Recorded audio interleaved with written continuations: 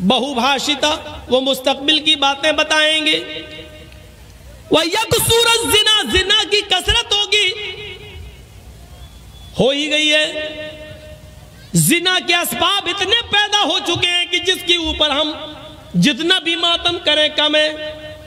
दस दस और बारह बारह साल की लड़कियाँ मोबाइल इस्तेमाल कर रही हैं। अब तो ऑनलाइन पढ़ाई के नाम पर बड़ी आसानी से उनके माँ बाप भी दे देते हैं। मोबाइल का इस्तेमाल वो इस एक साल के लॉकडाउन में इतना सीख गई हैं, इतना सीख गई हैं कि उनको जो जियो की तरफ़ से और एयरटेल की तरफ़ से मिलने वाली एक जीबी डेढ़ जीबी उनको पूरे दिन इस्तेमाल करना है। फिर रात की तारीखी और अंधेरे में माँ बाप जब सो जाते हैं, तब आपकी बेटी पढ़ने के बहाने और फिर वो क्या क्या देखा जा रहा है, वो सब बताने की ज़रूरत नहीं है। आज सूरत हाल ही हो चुकी है कि महाराष्ट्र के नागपुर के अंदर बाकायदा ये मीटिंगें हो चुकी हैं कि किस तरीके से मुसलमानों की लड़कियों को अपने घर की बहू बनाया जाए। कॉलेजेस में, ऑफिसों में वैकेंसी के नाम पर कितनी जगह खाली है लेडीज़ की, और अल्पसंख्यक लोगों के लिए मुसलमान बेचारे भरमार लगाए हुए हैं। फला कॉलेज में हमारी बेटी का एडमिशन हो जाएगा जगह खाली है और अकलियत के लिए जगह खाली है। अकलियत के लिए फार्म भरते लड़के जा रहे हैं तो उनको कहा जा रहा जगह फुल हो गई। लड़कियाँ जा रही है तो उनको फॉरन एडमिशन मिल रहा है। फिर जहाँ आग और पेट्रोल एक जगह पढ़ेंगे, एक जगह होगा। ज़ाहिर बात है, फिर भी नहीं रोक पाएँगे। और कितनी कोर्ट मैरिज हो रही है महाराष्ट्र के अंदर। आप कुछ नहीं कर सकते क्योंकि आपकी बेटी 18 साल से ऊपर की हो चुकी है। और कोर्ट ये कह कह कर निकाह कर रहा है कि लड़की को पूरी आज़ादी है अपना हम सफ़र चुनने की। मेरे भाइयों, ये सब कुछ इसी मोबाइल की देन है। इसी ने जिनाकारी के सारे असबाब और रास्ते खोल दिए, जो आज हमने बेटियों के हाथ में दे रखा है यहाँ सुन सब रहे लेकिन किसी एक की मजाल ऐसी नहीं कि सुनने के बाद जाए और अपनी बेटियों के हाथ से मोबाइल छीने कि मेरी बेटी, तुम्हें मोबाइल की क्या ज़रूरत है? तुम तो मेरे घर की जीनत हो, तुम तो मेरे जिगर का टुकड़ा हो। तुम किसी अपनी सहेली से बात करना है तो मेरे मोबाइल से बात कर लो। लेकिन मेरी बेटी, तुम मोबाइल क्यों रखोगे? तुम मोबाइल क्यों चलाओगे? आज किसी बाप के इतनी हिम्मत नहीं जो अपनी बेटी से ये कह सके। अल्लाह के रसूल ने भविष्य की बातें बता दी और यहाँ तक बता दिया, निसाउन कासियातुन, आरियातुन, मुमीलातुन वमाइलात ओ लोगों, एक ऐसा जमाना जाएगा, तुम अपनी आँखों से देखोगे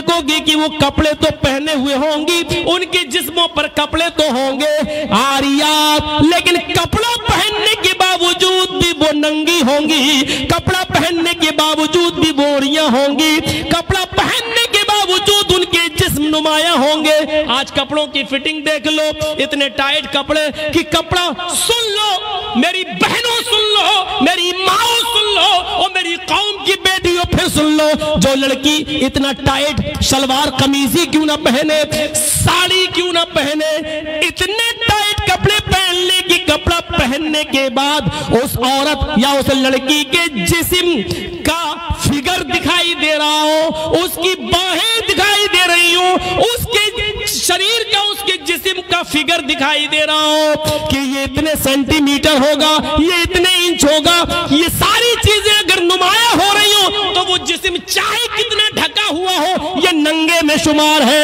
या उड़िया में शुमार है, ये बढ़ानापन में शुमार है। अल्लाह के नबी ने ऐसी औरतों के लिए कहा है, आरिया कासियात नंगी कहलाई जाएँगी। दुनिया फ़ैशन परस्त कहे आज की मीडिया फैश, फ़ैशन कहे तुम उसको ये कहो कि आजकल का फ़ैशन है लेकिन मोहम्मद रसूलुल्लाह की शरीयत में उनको नंगा कहा जाएगा। वो आरियात है वो बरहना है वो नंगी है।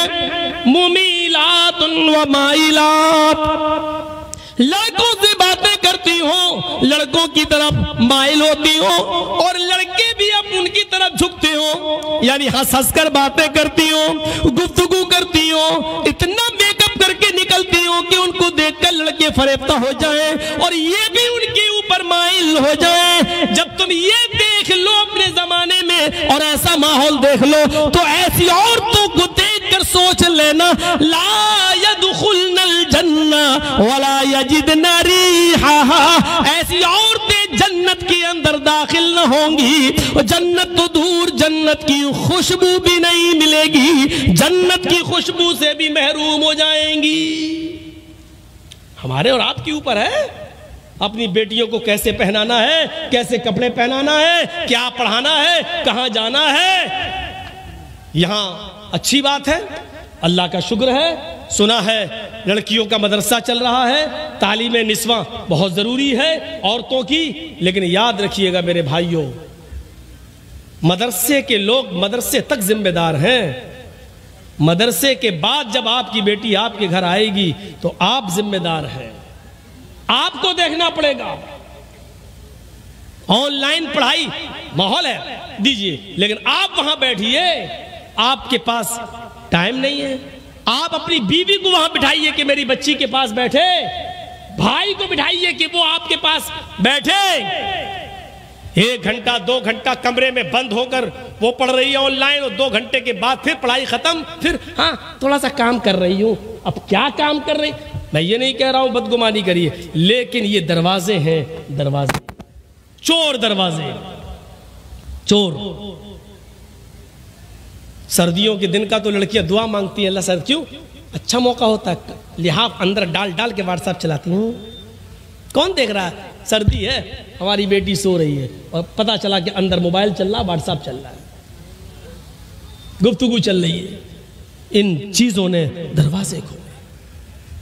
आपको मालूम है?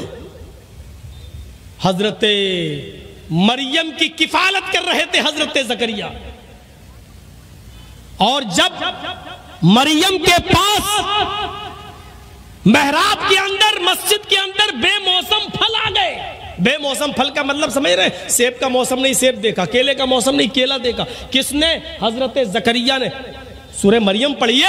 मेरे भाइयों, जैसे ही हज़रत जकरिया ने मरियम के पास बेमौसम फल देखे, ये वही मरियम है जो इतनी पाक दामन है कि जिनको उनके किसी शौहर ने, किसी मर्द ने नहीं छुआ। अल्लाह ने इसी मरियम से ईसा को पैदा किया। ये वो मरियम है जिनकी पाक दामनी का ऐलान अर्श वाले ने अल्लाह ने किया है। ये मरियम है जिनकी पाक दामनी का ऐलान अल्लाह ने किया। लेकिन इनके पास मस्जिद के अंदर जब बेमौसम फल देके, जकरिया ने इनकी सरपरस्त ने जब बेमौसम फल देके तो हज़रत जकरिया को गुस्सा आया। उन फलों को देखकर मरियम की तरफ़ देखा, अन्ना लगे हाजा। आए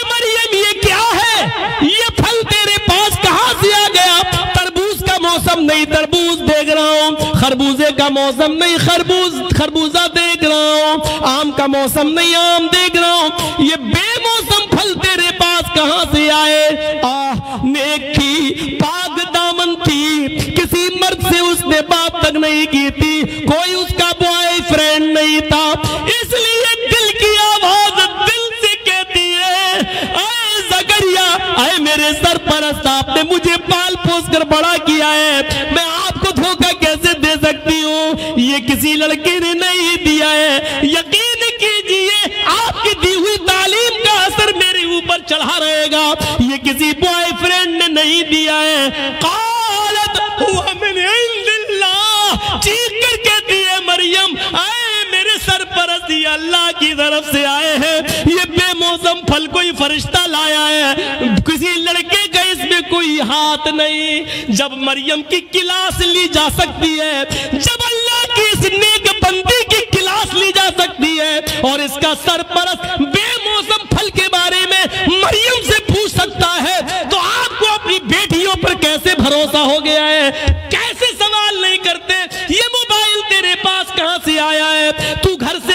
तेरे हाथ में रुमाल नहीं था।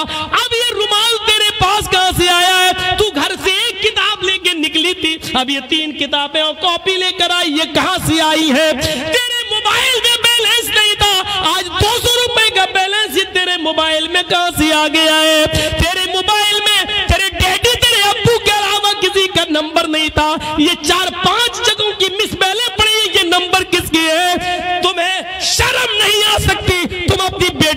सवाल नहीं कर सकते हो। जब मरियम से सवाल किया जा सकता है, वो मरियम जिनको अल्लाह ताला ने पाक दामन कहा है, जिसकी पाक दामनी का ऐलान अल्लाह ने किया है, जब उस पाक दामन औरत से सवाल किया जा सकता है तो हम और आप कौन हैं? मेरे भाइयों, अपनी बेटियों पर इतना भरोसा किए बैठे करना पड़ेगा हिसाब।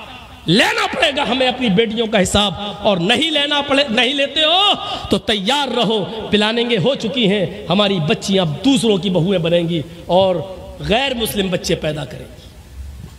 अब उनके पेड़ से पैदा होने वाले बच्चों के नाम लक्ष्मण, रामचंद्र, हनुमान, यही सब रखे जाए इंतज़ार करो आप उस वक्त का। बात तो सही है मौलाना, लेकिन इतनी देर तक के लिए सही है, बस। इतनी देर तक के लिए, जितनी देर के लिए हम यहाँ बैठे हुए हैं, उतनी देर के लिए यहाँ से जाएँगे, हँसते हुए जाएँगे, लड़ते हुए जाएँगे, अपनी साइकिल और गाड़ियाँ निकालते हुए यहाँ से हट हट, पहले हम निकल रहे हट वही पुरानी रविश पे हम आ जाएँगे और ज़्यादा मौका मिला तो रविश बदलेंगे नहीं। सेल्फी लेने की। मौलाना साहब का फ़ोटो ले लें। अपने साथ ले लें। हम अपने दोस्तों को शेयर करेंगे। ये साबित करेंगे कि देखो जर्जी साहब से मिलके आए। इन चीज़ों ने आज दीन का शौक निकाल दिया है। जलसों को रस्म रवाज का मालिक बना दिया है। जलसों में दीनदारी आए तो कहाँ से आए? जलसों से इबरतें मिले तो कहाँ से मिले? जब जलसों में रस्म रवाज आम हो जाए, मेरे भाइयों, सेल्फी लेने के चक्कर में, फ़ोटो लेने के चक्कर में आदमी एक दूसरे के साथ लड़ मरे। इतनी इजाज़त नहीं है शरीयत के अंदर। ये वीडियो बन रहा है। एक एक एक, एक हद है। चलिए जी चैनल पे डाल दिया जाएगा। आज जर्जी साहब भाटोल बंगाल में उत्तर दिनाजपुर में है। कल ये तकलीफ़ पूरी दुनिया में पहुँच जाएगी। एक मकसद है। लेकिन आपके साथ सेल्फी का क्या मकसद है? आप क्या करेंगे? शरीयत ऐसी सेल्फियों को हराम करार देती है जो जिसका कोई मकसद ना हो। मेरे भाइयों याद रखिए मेरी बिल्कुल इजाज़त नहीं है कि आप कोई मेरी सेल्फी ले। और इसके बावजूद अगर आप लेते हैं तो उसके गुनाहगार आप हैं। हम नहीं, क्योंकि हम मना कर चुके हैं। रस्म रवाज छोड़िए। आइए कुछ दीनी शौक पैदा करिए अपने अंदर। दीनी शौक दीनी शौक पैदा करिए। रस्म रवाज से उठिए। बात आगे निकल गई। तो ये दो दो ही चीज़ें हुई। आठ चीज़ों पे चलना है। अल्प ये जो बैठे उनकी बात सही है भाई। आप लोग थोड़ा सा बैठ जाइए या इधर हो जाइए। उनको देखने दीजिए, वो भी तो बेचारे इतनी दूर से आए हैं, बस बैठिए, ठीक है। तो मेरे भाइयों, उसके अंदर आठ खूबियाँ पाई जाएँगी। कौन कौन सी? कम बोलेगा। दूसरी, मुस्तकबिल की फ्यूचर की बातें बताएगा। तीसरी चीज़, ज्ञानी होगा। ज्ञानी। अल्लाह के रसूल सल्लल्लाहु अलैहि वसल्लम तो को तो अनपढ़ कहा जाता है उम्मी। और महाभारत कह रही हो ज्ञानी होंगे। इसमें कोई शक नहीं कि अल्लाह के रसूल सल्लल्लाहु अलैहि वसल्लम अनपढ़ थे इस माना में कि आपको दुनिया में किसी ने पढ़ाया नहीं था। आपका कोई उस्ताज नहीं था। जब आपको यह कहा जाए कि उम्मी थे तो उसका दो माना है। एक माना तो ये था, उसका एक माना ये है, आप उम्मी थे नहीं अनपढ़। इसका माना ये होगा कि आपको दुनिया में किसी ने पढ़ाया नहीं। लेकिन अनपढ़ का मतलब ये नहीं है नौज बिल्ला अनपढ़ की दो किस्में होती हैं। एक तो ये होता है कि वो अनपढ़ है बेचारा। जानता, पढ़ा नहीं है उसको, उसके माँ बाप ने पढ़ाया नहीं। लेकिन वो जाहिल नहीं है। वो बड़ी अक्लमंदी की बातें करता है, शूर की बातें करता है अच्छा बिज़नेस भी चला रहा है। और कायदे से बैठता भी है, कायदे से बात भी करता है। तो लोग क्या कहते हैं, पढ़ा लिखा ज़रूर नहीं है, लेकिन कायदे का है, तमीज का है। और एक अनपढ़ वो होता है जिसको उसके माँ बाप ने पढ़ाया नहीं, और साथ में उसको माहौल भी गलत मिला। खड़े होकर पेशाब करता हुआ जा रहा नाली में। एक दो बच्चे हम बताएँगे नहीं कहाँ के। ऊपर छत पे खड़े होकर देखता कोई आदमी गुजर रहा, वहीं से उन्होंने चड्डी उतारी, पेशाब कर दिए उसके सर पे गिर रहा। हम लोगों के साथ ऐसा हो चुका है। तो एक ये होता है कि पढ़ाया नहीं माँ बाप ने, दूसरा अनपढ़ भी बनाया। अल्लाह के रसूल सल्लल्लाहु अलैहि वसल्लम इस माना में अनपढ़ थे कि दुनिया में किसी ने आपको पढ़ाया नहीं। लेकिन अल्लाह के रसूल सल्लल्लाहु अलैहि वसल्लम बहुत बड़े आलिम थे। आपसे बड़ा आलिम कोई था ही नहीं। जब यह कहा जाए कि आलिम थे तो फिर पढ़ाने वाला कौन? तो उसका माना यह होगा कि अल्लाह के रसूल सल्लल्लाहु अलैहि वसल्लम को अल्लाह ने पढ़ाया। और जिसको अल्लाह ने पढ़ाया हो, उससे बड़ा कोई आलिम हो सकता है? नहीं। अनपढ़ थे, दुनिया में किसी ने नहीं पढ़ाया, लेकिन आपसे बड़ा कोई आलिम नहीं था। क्यों? क्योंकि अल्लाह ने पढ़ाया। और खुद अल्लाह ताला ने फरमाया सूर्य आला पढ़िए। सूरतुल आला पढ़िए। और देखिए क्या कहा? सनुकुरियू का फला तंसा। सनुकरियू का फला तंसा। आए मोहम्मद वसल्लम, हम आपको ऐसा पढ़ाएँगे कि आप भूलेंगे नहीं। क्या कहा अल्लाह ने? हम आपको ऐसा पढ़ाएँगे कि आप भूलेंगे नहीं। तो अल्लाह ने क्या कहा? हम पढ़ाएँगे। तो किसने पढ़ाया नबी को? अल्लाह ने। और इंसान इंसान को जब पढ़ाता है तो उसका पढ़ाया हुआ सबक इंसान को याद भी रहता है और भूल भी जाता है। मसलन, हमें हमारे उस्ताद ने 20 साल पहले क्या पढ़ाया? आज आधा याद है, आधा याद नहीं है। हम आपको क्या पढ़ा रहे हैं अभी? और एक घंटा, डेढ़ घंटा, दो घंटा बोलने के बाद आपसे पूछे, हमने क्या पढ़ाया आपको? तो आपको बहुत सी बातें याद होंगी और बहुत सी भूल जाएँगे। बहुत सी आप बातें भूल चुके होंगे, क्योंकि इंसान इंसान को जब पढ़ाता है तो पढ़ाने वाला भी भूल जाता है, और जिसको पढ़ाया गया है, वो भी बहुत सी बातें भूल जाता है। लेकिन जब अल्लाह किसी बंदे को पढ़ाता है तो अल्लाह तो भूल ही नहीं सकता, और अल्लाह का पढ़ाया हुआ बंदा भी उस सबक को कभी भुला नहीं सकता। सनुकरियों का पला तंसा आए नबी, हम आपको ऐसा पढ़ाएँगे कि आप भूलेंगे नहीं। अल्लाह के नबी को जबान पढ़ कहा जाए तो इसका मतलब ये हुआ कि किसी इंसान ने नबी को नहीं पढ़ाया। लेकिन जब ये कहा जाए कि अल्लाह के नबी से बड़ा कोई आलिम नहीं तो इसका मतलब ये है कि अल्लाह के नबी को अल्लाह ताला ने पढ़ाया। और जिसको अल्लाह पढ़ाए उससे बड़ा ज्ञानी कोई हो सकता है? नहीं। तो अल्लाह के रसूल को क्या कहा गया? तीसरी सिफत कि वो बहुत बड़े ज्ञानी होंगे। क्यों ज्ञानी होंगे? क्योंकि जिसको उसका रब पढ़ाए उससे बड़ा ज्ञान किसके पास हो सकता है? किसके पास? और आज देख लीजिए, मेडिकल साइंस भी आज मोहताज है मोहम्मद रसूलुल्लाह की तालीम। ये 1400 साल पहले बताया था ना, मिसवाक करो, आज मेडिकल साइंस बतला रही है। कॉलगेट करने के नुकसान क्या है और नीम की या पीपल की मिसवाक करने के फ़ायदे क्या हैं, आज मेडिकल साइंस बतला रही है। ये ये टिश्यू पेपर होते हैं ना, जो आप उसमें चले जाइए फ़्लाइट के अंदर प्लेन के अंदर तो ये बहुत से रखे हुए मिलेंगे। और उनके टॉयलेट में चले जाइए तो यही सब मिलेंगे आपको। उठाइए और लेडिन करने के बाद पोच के वहीं फेंक दीजिए। जमाना कल तक हंस रहा था। अल्लाह के रसूल सल्लल्लाहु अलैहि वसल्लम ने कहा था कि जब तुम इस्तंजा करने जाओ तो मिट्टी के तीन ढेले इस्तेमाल कर लो, तीन से कम ढेले इस्तेमाल नहीं होना चाहिए। मिट्टी के ढेलों पर हँसते थे लोग। क्या? मोहम्मद साहब ने मिट्टी के ढेले बत... अरे पानी नहीं था, मिट्टी के ढेले बता रहे हैं। आज उसी मेडिकल साइंस ने यह बता दिया कि मिट्टी के ढेले जरासीम को कीड़ों को, गंदे कीड़ों को और खतरनाक कीड़ों को मारने में ज़्यादा सलाहियत रखते हैं और गंदगी को जज्ब करने की ज़्यादा सलाहियत रखते हैं। आप देख लीजिए, बहुत से बर्तनों को जब आप साफ़ करें, सर्फ से साफ़ करने के बाद, रिन साबुन से साफ़ करने के बाद भी चिकनाहट बाकी रह जाती है तो फिर उसको मिट्टी लाकर साफ़ किया जाता है और मिट्टी से उस चिकनाहट को दूर किया जाता है, क्योंकि मिट्टी के अंदर जरासीम को मारने की ज़्यादा सलाहियत मौजूद है। आज की मेडिकल साइंस ने इसको बता बता दिया। मोहम्मद रसूलुल्लाह सल्लल्लाहु अलैहि वसल्लम से बढ़कर कोई ज्ञानी होगा? मेडिकल साइंस बता रही है। नाक में पानी डालो, वज़ू बनाते वक्त। चढ़ाओ। जब रोज़े से हो तो ज़्यादा मत खींचो। हलक में चला जाएगा। और जब रोज़े से ना हो तो खींचो।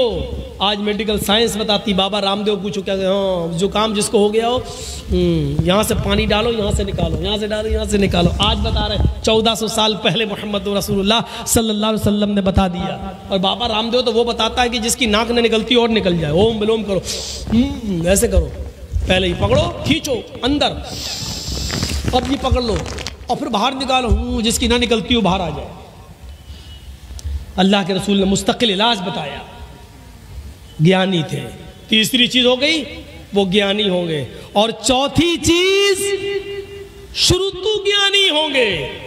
अल्लाह के नबी ये बातें अपनी तरफ़ से नहीं कहेंगे। शुरुतु ज्ञानी, शुरुतु मानी सुनना, ज्ञान मानी इल्म, सुनकर इल्म। यानी अल्लाह ताला जिब्राइल को बताएगा और जिब्राइल से सुनकर मोहम्मद रसूलुल्लाह सल्लल्लाहु अलैहि वसल्लम को मालूम होगा। वही मायंतिकु हवा